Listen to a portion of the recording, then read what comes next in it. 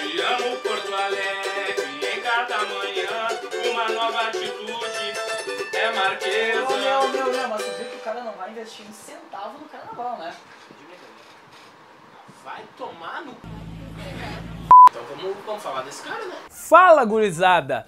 De boa? É, adeus ano velho, feliz ano novo, agora 2017. Vamos falar hoje do senhor que é o novo prefeito de Porto Alegre, Nelson Marquesan Júnior, do PSDB. O Marquesan, por enquanto, ainda não fechou nem 15 dias, mas o que ele tem mais feito até agora é ficar dizendo que não tem dinheiro, que tá em cidade está em crise, que não vai conseguir pagar, que vai ter que suspender isso e aquilo. E blá, blá, blá, blá. Ih, já viu que político não quer foder que o povo vem com esse papinho de que não tem dinheiro? Sempre a mesma ladaia, né? Vamos falar sobre como Marquesan chegou na prefeitura.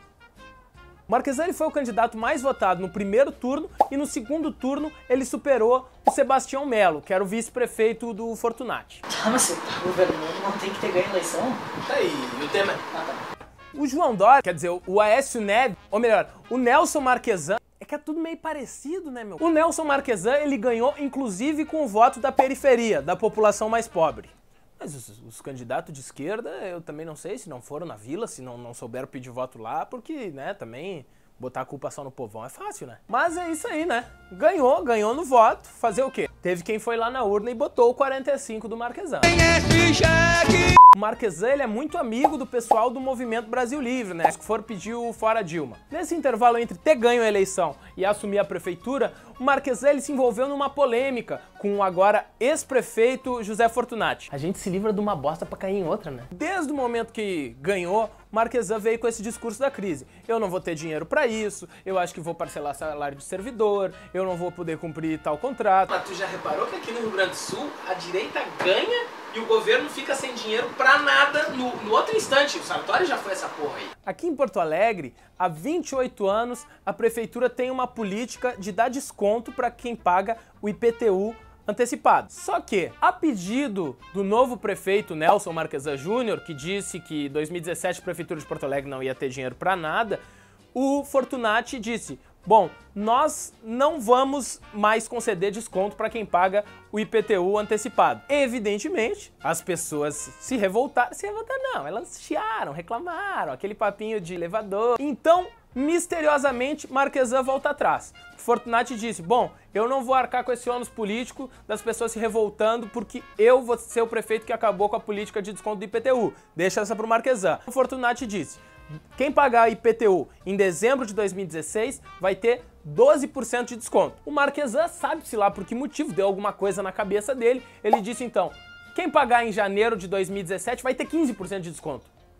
Depois de 1 de janeiro, depois de ter assumido efetivamente como prefeito da cidade, o Marquesan ele quis colocar em prática a reforma administrativa, né? porque o Marquesan ele foi eleito dizendo que ele cortaria 30% dos cargos comissionados, os CCs, que ele governaria com os melhores, independente do partido, e que a prefeitura não ia ser loteada entre as diferentes siglas que o apoiaram durante a eleição. Aí logo que ele assumiu, ele tentou implementar esse negócio de cortar 30% do CC, só que os vereadores. Nananina não! Ele também já chegou suspendendo, assim, logo de cara, alguns pagamentos da prefeitura. né? Não, tem que investigar isso aí. Parece que ali finalzinho de dezembro, início de janeiro, assaltaram a prefeitura, que não tem mais dinheiro pra nada. Mas, enfim, né? Pô, que, que legal que o Marquesan tá sendo um cara bem intencionado e tá tentando reduzir o número de, de CCs da Prefeitura de Porto Alegre. Ah, crianças ingênuas que não conhecem a dinâmica da política tupiniquim. Negou, se não tiver CC pra distribuir depois, o cara não tem ninguém pra dar panfleto pra ele na época da campanha. Ele disse que governaria só com os melhores, que ele ia ser o administrador, o trabalhador, o gestor. Mas na hora de montar o secretariado, olha só! E o PTB gaúcho velho de guerra sempre no governo. Pode ser esquerda, direita, em cima, embaixo. Estão sempre no governo, é quase o PMDB do nível federal. E o Marquesan ele propôs a redução no número total de secretarias da Prefeitura de Porto Alegre. Ele quer reduzir para 15. Ele sugeriu a extinção da Secretaria do Meio Ambiente, Secretaria uh, de Trabalho e Emprego, Secretaria da Juventude, Secretaria dos Direitos dos Animais. E agora, mais recentemente, essa foi a notícia bombástica que nos mobilizou a gravar esse vídeo, Marquesan disse que não vai ter um centavo sequer para investir no Carnaval de Porto Alegre. Aquela, aquela música do Bezerra da Silva lá, o candidato Caô Caô. Para variar um pouco, o Marquesan, como bom prefeito tucano que é, ele quer que a iniciativa privada banque o carnaval. E ele diz que ele vai ajudar a trazer recursos para essa festa. Sempre é bom lembrar, antes que ele venha com aquele discurso de empresário, que o carnaval gera recursos sim, gera trabalho, desenvolvimento, renda e que os recursos eles retornam a Porto Alegre, né? O povo toma cerveja e vai de táxi e fantasia. Mas essa história do carnaval a gente ainda vai falar em outros vídeos. Mas por enquanto é isso aí, a gente vai seguir acompanhando Marquesan, esse governo dele, e o tufo que nós e todo o povo de Porto Alegre estamos tomando, né? Cara, gostou do vídeo? Se gostou, então clica aqui embaixo no joinha, também aproveita, te inscreve no canal, comenta aí se tu é de Porto Alegre, o que que tu tá achando dos primeiros dias do Marquesan. Se tu for de outra cidade, comenta um pouco o que que teu prefeito aí, teu novo prefeito, anda fazendo ou não anda fazendo pela cidade.